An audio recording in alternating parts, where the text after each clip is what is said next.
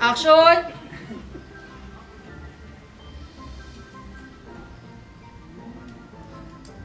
Mas sarap ang luto nito ng cook mo si Maria.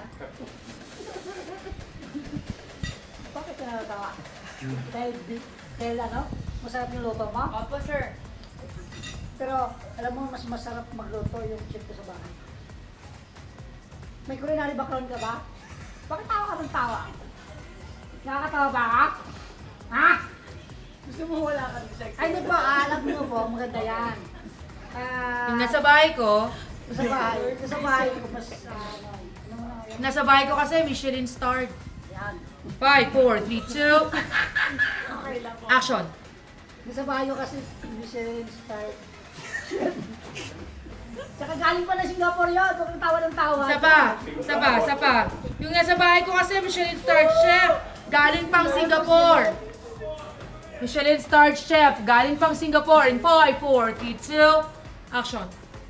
Yung chef ko kasi sa bahay, galing pa lang, ay, Michelin starred chef. 5, 4, 3, 2, action.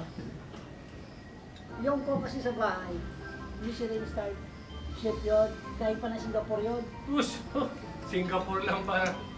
Si Maria. Oh, Di mo na itatanong, ang dami ng uh, pinagdaan ng lugar niyan, dahil napuntahan.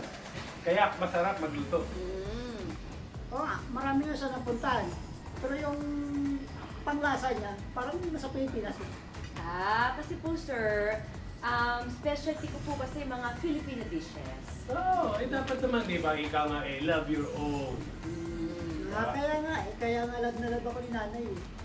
Di ba? May kasabihan nga tayo, sabi, sabi ni nanay, nagmana ako sa kanya, sa katalinuhan niya, at magaling mag-business.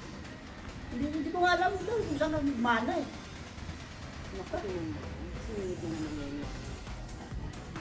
From there.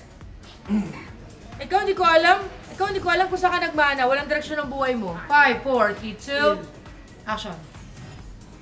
Ako hindi ko alam kung saan ka nagmana eh. Walang direksyon yung buhay mo.